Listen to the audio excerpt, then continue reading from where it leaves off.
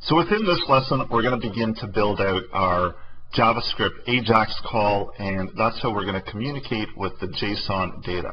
So at first, I'm going to show you how we can output content just as JSON and pick it up in JavaScript, and then we're going to switch the source to the PHP as the source, and then dynamically update the source using our PHP code. So over here is just a default JSON file. I've got uh, four users in here, first name, last name, and age. Uh, so this is a default dummy file that I wanted to use in order to pull through this content and just to get everything working within JavaScript. So I want to uh, set up JavaScript AJAX. And what AJAX does is this gives me the ability to connect to an external file and retrieve back data uh, and pull that data into a useful format back into my JavaScript and then make use of all of that data. And this works really well with JSON because uh, the ability for JSON and the way that it handles objects. So the first thing that we want to do is set up a brand new variable. So I'm going to call this uh, variable Ajax HTTP because we're going to make a brand new uh, HTTP request. So that's the Ajax request, and this is a built-in method within uh, within um, JavaScript that gives us the ability to set up this request call and transfer data through. So it's HTTP request and I'm not passing any arguments into there, so it's just a simple new XML HTTP request, uh, and that's the call for it. Uh, so now that I've got all of this information into the object, I can begin to start creating that request and just to show you what we're outputting here, uh, what's contained within this AJAX HTTP, I'm going to console log that information out, that object information, so we can take a look at it within our console and get a better sense of what information we're looking for and how these requests work. So when I refresh the page, we see that now we've got this object is set out, and when I open this up, it's got quite a um, few options in here. So we've got on abort, on error, on load, um, on progress, ready state change, and this is one of the this is one of the important um, objects within here on ready state change.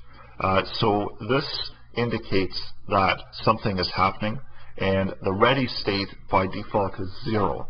Uh, so when we do make the request, we're going to hear back another value for ready state. Uh, so hopefully, if everything is successful, our ready state will go to 4 and our status will go to 200, from 0 to 200. And that means that the ready state is going to change and we're going to be listening for this change. Uh, so if it changes from 0 to whatever number, and we've got an update on our status as well, we're going to get some data back here and listening for this change is going to initiate uh, our condition in order to retrieve back that data and output it within our JavaScript. So let's set that up now and go back into the browser here. I'm going to minimize this JSON part here, also hide away the sidebar because we're not going to really need to, to work with that very much. Um, so the first thing that I want to do is I want to set Ajax HTTP and I want to open up my new request. So simply just do open and the request that I'm going to be doing is a GET request. Uh, so that's just going to be reading whatever content is available within the JSON file. And also, I'm going to update, uh, add another variable here, and I'm just going to call this URL. So this is going to be where the JSON data is going to be located.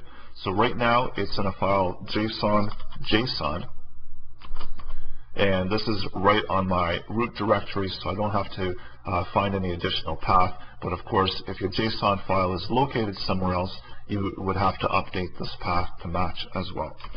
So here I'm just going to call to that value, that string value that's contained within URL variable and I'm going to set it to true. So this is um, how it handles the data, the synchronous. Uh, so true um, by default. It's going to be true. Uh, so it's always a good idea to keep that value within there. Uh, now Ajax HTTP set request header.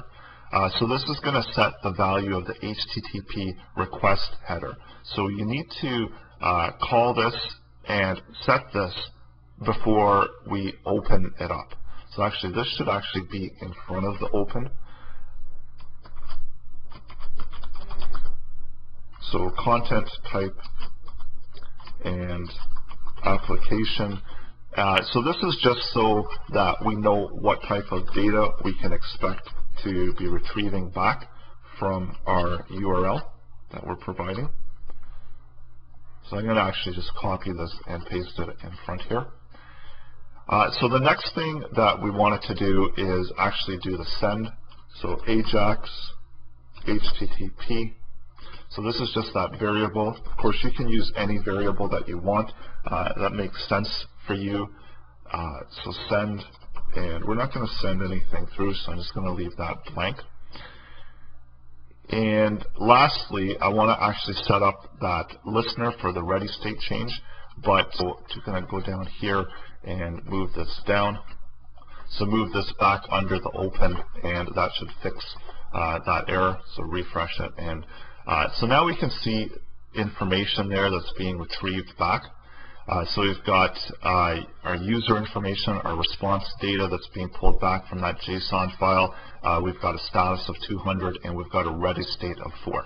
So these two values are what we're going to look for within the condition. We know that ready state has now changed, status has changed, so now we can listen for that uh, condition changing those and we can retrieve back the data within the response.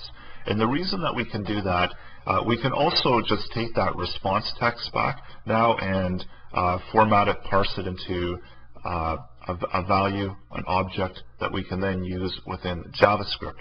But it's always a good idea to make sure that the data is actually successfully retrieved.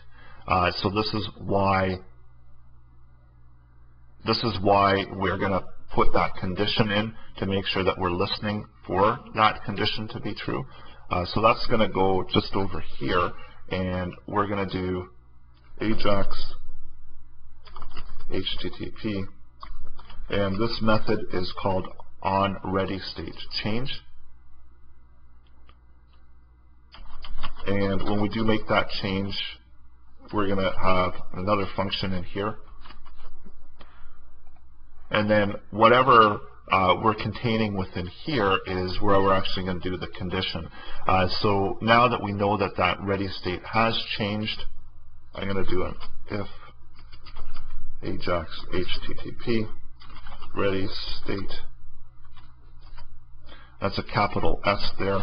So if it equals 4 and Ajax HTTP status uh, so we check to see if status is 200. So 200 is a successful response back. Then we're going to actually um, do something here.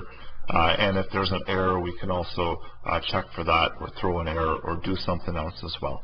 Uh, so first of all, we're just going to retrieve back that response text.